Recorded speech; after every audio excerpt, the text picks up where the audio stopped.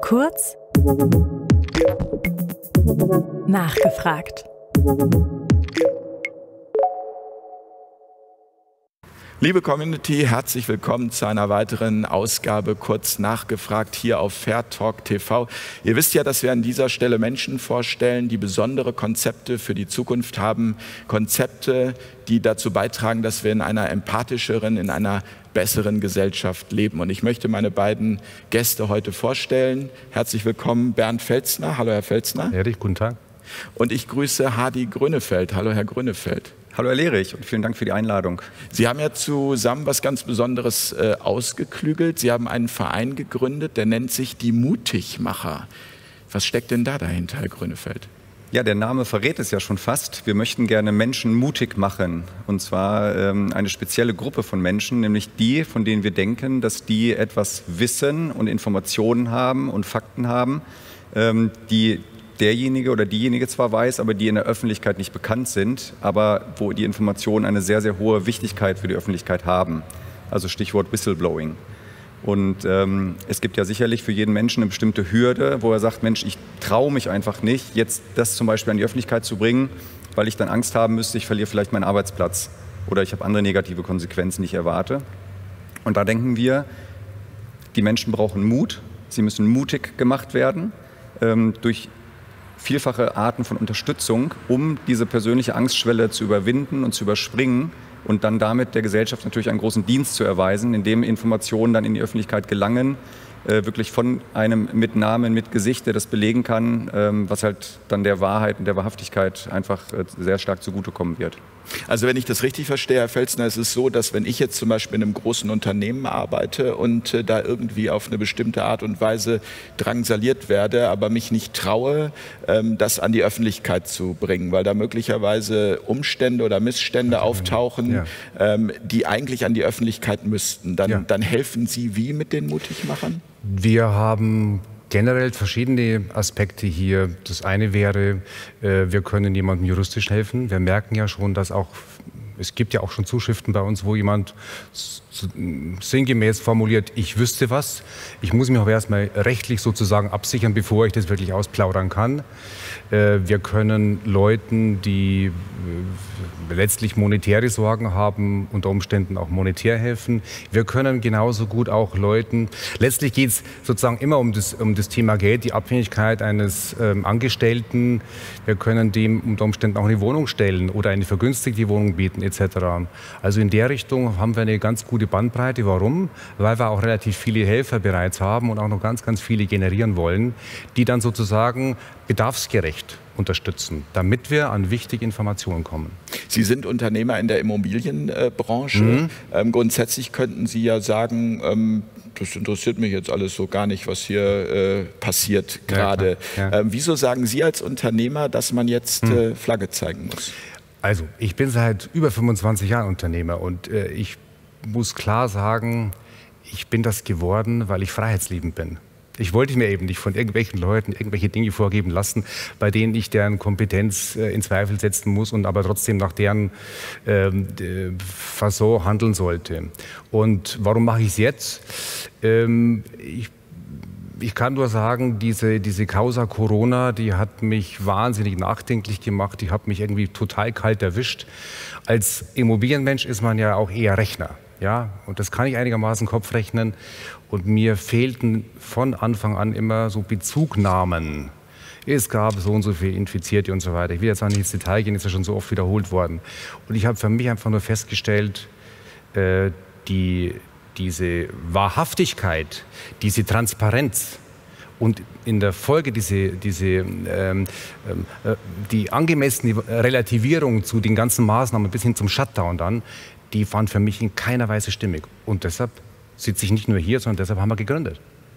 Denn letztlich, um das vielleicht auch klar zu sagen, ist mir dann bewusst geworden, wenn hier die Dinge einfach nicht stimmig sind äh, und trotzdem aber ständig postuliert werden von unseren 700 sogenannten Interessenvertretern, äh, mit, mit der Konsequenz, dass sie sich dann sozusagen über diesen Kanal der Massenmedien in eine irrsinnige Verbreitung bringen. Und ich dann auf der anderen Seite parallel äh, oder Alternativmedien mir anschaue, die richtig gut recherchieren und dann aber abgetan werden von diesen Massenmedien, die wir auch noch über die GZ bezahlen, dann kann ich nur sagen, als Unternehmer kann ich das nicht mehr mittragen. Und da ich es mir einigermaßen leisten kann, dann auch mal irgendwo was zu investieren, dachte ich mir, ich spende zum Beispiel mal auch für diesen Verein. Also das heißt, Sie geben etwas von Ihrem Erfolg äh, jetzt an die Gesellschaft weiter? Ja, genau. Also definitiv, das mache ich auch liebend gerne, weil ehrlich gesagt habe ich auch relativ viel von der Gesellschaft äh, im Vorhinein äh, als Vorschuss bekommen, über, über lange Zeit. Wie, wie haben Sie sich kennengelernt, Herr Grönefeld? Also wer hat da die hm. Initiative ergriffen? Kennengelernt haben wir uns durch meine Arbeit äh, bei Human Connection, ein gemeinnütziges Projekt auch, ein soziales Wissens- und Aktionsnetzwerk, ähm, wo der Herr Felsner dann irgendwann auf uns zugekommen ist und gesagt hat, Mensch, ich finde das Projekt klasse, ich möchte da gerne auch unterstützen. Und äh, ja, wir zwei haben uns gleich hervorragend verstanden, ähm, haben gemerkt, Mensch, wir ticken sehr, sehr ähnlich. Und ähm, ja, so ist der Kontakt zustande gekommen, so haben wir uns immer mal wieder getroffen und gesehen und schließlich sicherlich eben, ja, beginnend mit der Causa Corona, wie es schön gesagt worden ist, ähm, kam dann dieser Wunsch auf, Mensch, wir müssen irgendwas tun, um wirklich was zu bewirken. Und das ist eben auch, wo ich sage, ich sehe einen ganz, ganz großen Hebel darin, dass Menschen, die halt bestimmte Dinge wissen und damit an die Öffentlichkeit gehen, das kann sehr, sehr viel bewirken. Und das ist für mich ein ganz großer Schlüssel und äh, da wollen wir ran. Sie haben dieses Projekt Die Mutigmacher ja ähm, hier in Berlin vor ein paar Wochen bei der großen Demonstration auch vorgestellt. Äh, wie, wie haben die Leute darauf reagiert? Wie war das Feedback? Klasse, also war wundervoll. Äh, es war eben ja ein wundervoller Tag äh, mit so vielen Menschen, so eine friedliche und, mhm. und äh, voller positiver Energie geladene Veranstaltung dort mitzuerleben. Und wir hatten dann eben auch die Möglichkeit, ähm, über die Mutigmacher zu sprechen. Und ja, man hat gemerkt, es war eine ganz tolle Resonanz da. Es kamen auch direkt gleich Leute zu uns danach und haben uns nochmal gefragt, haben gesagt, Mensch, wir können euch helfen. Es kamen auch schon die ersten E-Mails rein über die Homepage. Also da waren wir ja sehr, sehr happy drüber, einfach, dass äh, die Resonanz so toll war. Was sind das für, für Menschen, die sich jetzt konkret äh, an Sie wenden? Ja, es, also einmal Menschen, die halt unterstützen wollen, zum Beispiel Rechtsanwälte, auch Psychologen, viele, die sagen, wenn jemand mal psychologische Beratung braucht, Hilfe braucht in so einer schwierigen Situation, ähm, kann ich da eben auch helfen. Und es kamen jetzt auch schon die Ersten, die gesagt haben, ich möchte auspacken. Genau. Gibt, es da, gibt es da jetzt in Ihren, ich sag's mal, Unternehmerkreisen Kritik? Also, so, oder haben Sie eher das Gefühl, dass wenn Sie da mit, mit anderen Unternehmern sprechen, dass das verstanden wird? Wie ist da im Moment die Ja, Lage? also ich denke, Unternehmer tun sich überhaupt nicht schwer, das zu verstehen. Äh, ich, denk, ich, ich gehe davon aus, dass eine, eine Unternehmerphilosophie ähnlich ist wie meine, nämlich jeder Unternehmer dürfte tendenziell eher freiheitsliebend sein. Darum geht er gewisse Risiken ein, um dann seine Freiheit auch genießen zu können. Vielleicht auch mal die Freiheit, deutlich mehr zu verdienen, selbstverständlich. Ähm, also da kann ich ganz eindeutig sagen, da gibt es äh, eigentlich kaum Reibungspunkte. Im Gegenteil, es gibt ja eher erfreulich Unterstützer mhm. in allen möglichen unternehmerischen Bereichen. Das ist nicht nur in meiner Branche. Also es gibt, wir haben Unternehmer, äh, die, die durchaus auch äh, sozusagen völlig unabhängig jetzt mal von dem Thema ähm, Wohnung liefern können, so wie ich, in verschiedenen Städten, äh, auch sagen, Leute, die Rückgrat haben, die also sozusagen mal rübergesprungen sind. Ein Journalist, der irgendwie sozusagen unter der Knute eines Arbeitgebers stand und muss irgendwie regierungskonform berichten. Das, das ist ein gutes Stichwort, weil das hatten wir ja vor ein paar Wochen hier in Berlin, dass zum Beispiel auch bei der Anzahl der Demonstranten äh, gesagt wurde, es sind irgendwie 15.000 oder 17.000 17 gewesen. Da hat man diese ja. Bilder gesehen ja, und es waren ja, ja deutlich mehr. Ja, es ist verrückt. Also ich kann doch sagen, ich kann es nicht anders formulieren, mich stachelt das eher an. Ich, ich möchte das nicht. Und äh, ich gönne mir jetzt auch wirklich da äh, mit, mit Harry zusammen und äh, noch einigen hinter uns äh, dort noch deutlich breiter uns aufstellen zu können, zu lassen. Äh, und ja, wir, wir wollen auf alle Fälle versuchen, möglichst viele Hilfestellungsvarianten anzubieten, weil wir auch nicht generell sagen können, wenn ein Journalist jetzt kommt, äh, dass es immer nur ein Geldproblem ist. Es kann auch ein Reputationsproblem sein. Dann haben wir zum Beispiel auch so jemand wie den Anselm Lenz, der sucht für seine Zeitung äh, Demokratischer, Demokrat Widerstand. Genau, Demokratischer Widerstand. Da sucht er immer wieder Mitarbeiter, äh, auch die expandieren, sodass man die sozusagen fast zuführen kann. Ähm, ich denke, in der Richtung äh, werden wir noch ganz viel Fantasie auch bekommen und sozusagen auch noch sehr, sehr viele Offerten bekommen.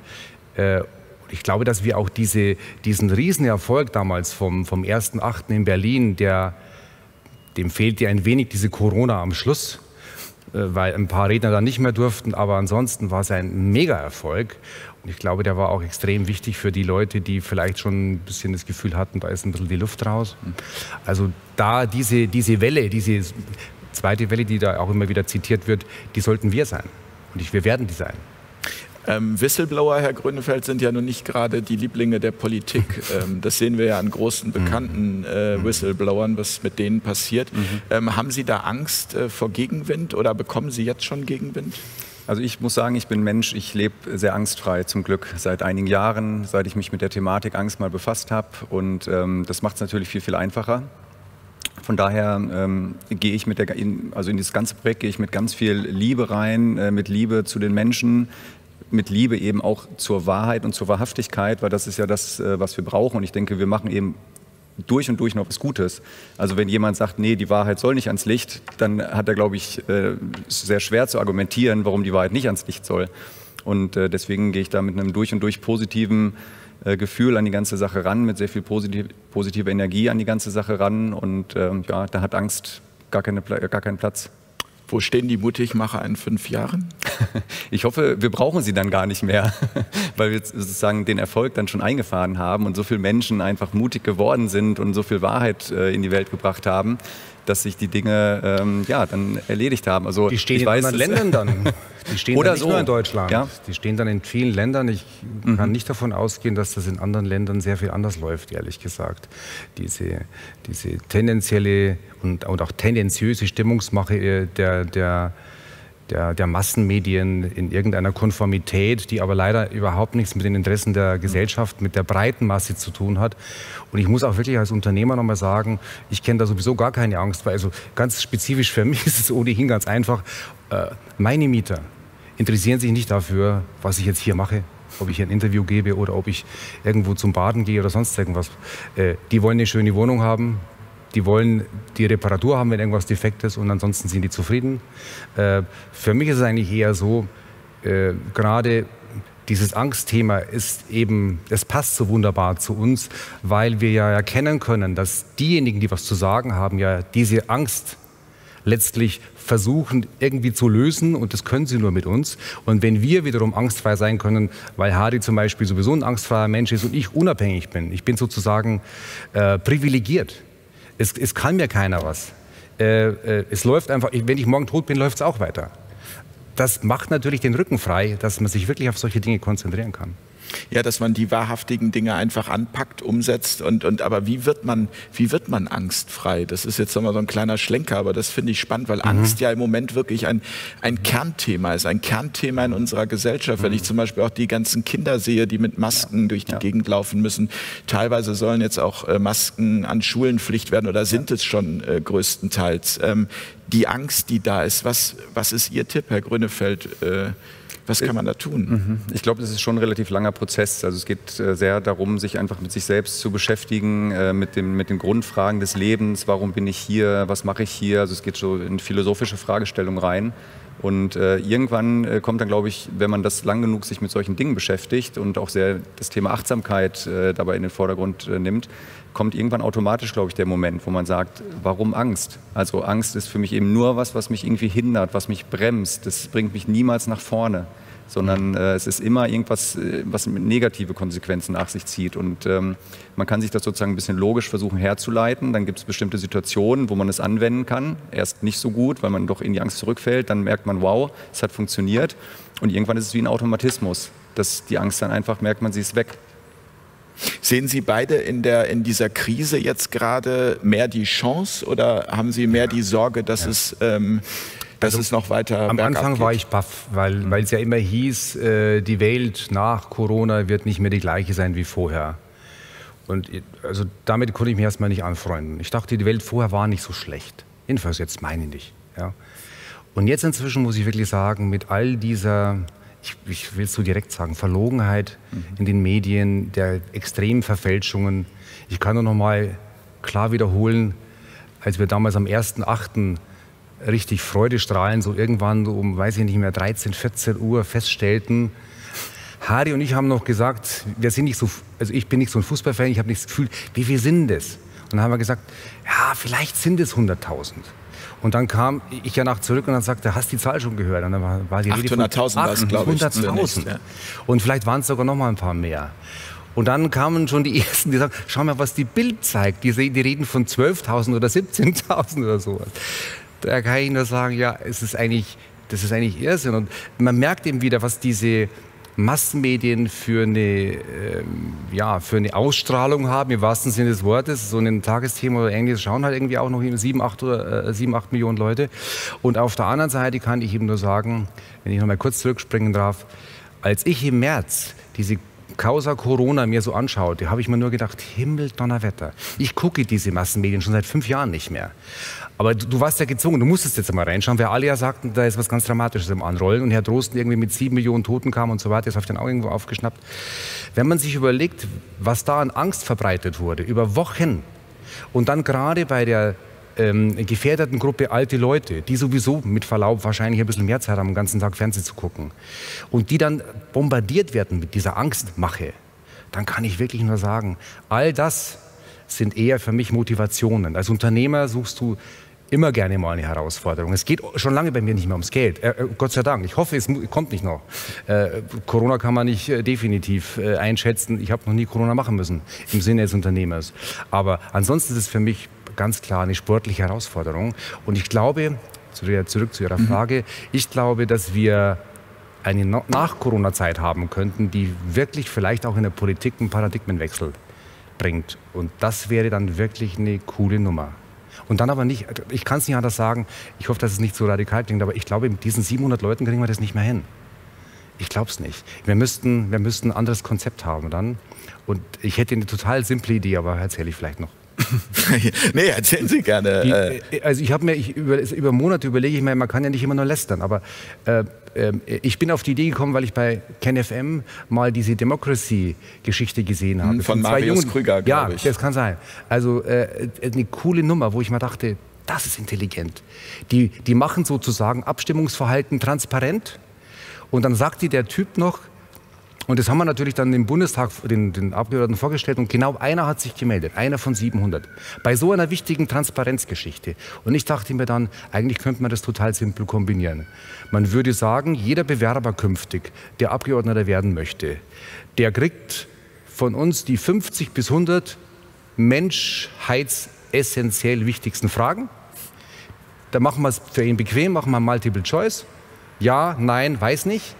Und unten im Kleingedruckten steht, und wir machen es irgendwie auch gelb unterlegt oder so, und wenn er sich danach nicht hält, falls er Abgeordneter wird, dann ist er auch gleich wieder draußen.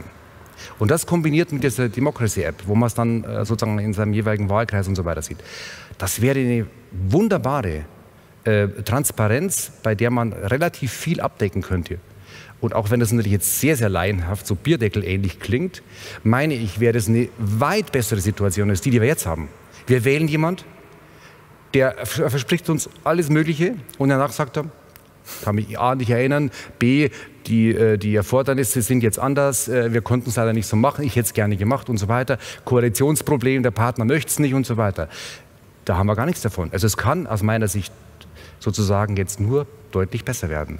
Und es ist deswegen auch äh, die Mutigmacher ja eben so schön, weil es ja auch zeigt, auch dieses Projekt, dass jeder tatsächlich etwas machen kann nach seinen Möglichkeiten. Mhm. Also ich höre ja immer noch ganz oft so auch in meinem Bekanntenkreis teilweise, dass dann Menschen sagen, ja, können wir eh nichts machen, können wir eh nichts machen. Und dann zeigen mhm. aber zum Beispiel auch solche, solche Großdemonstrationen, wie zum Beispiel Michael Ballweg sie jetzt auf den Weg gebracht haben, das hat ein Mensch gemacht, natürlich mit ganz vielen Helferinnen und Helfern, ganz klar. Aber da ist jemand gewesen, der hat gesagt, ich habe eine Initialzündung mhm. und ich mache das mhm. jetzt, so wie Sie jetzt die Mutigmacher machen. Ja.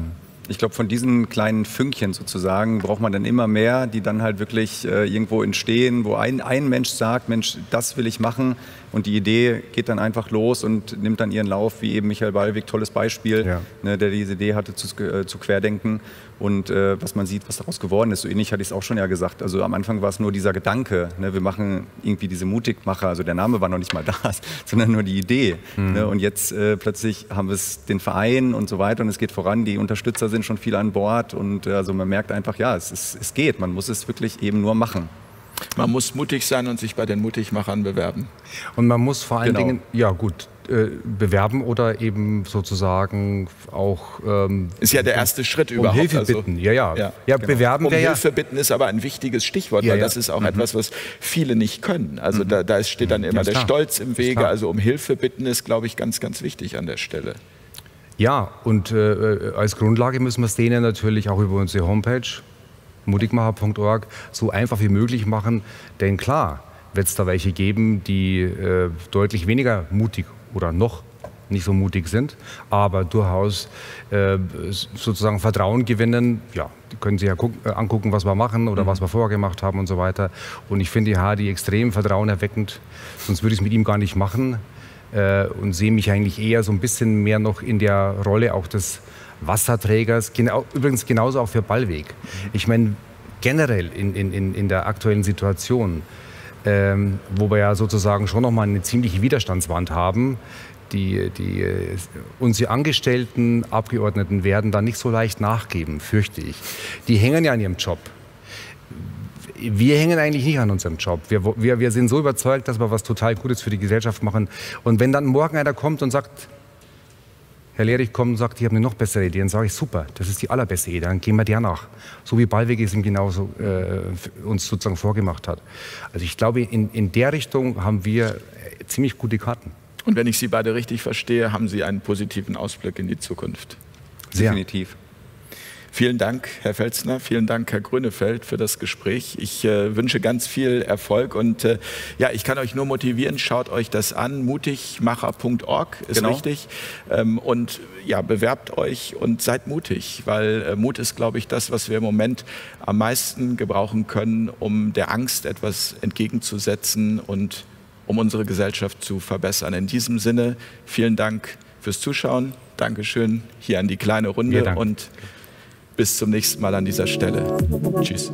Kurz nachgefragt.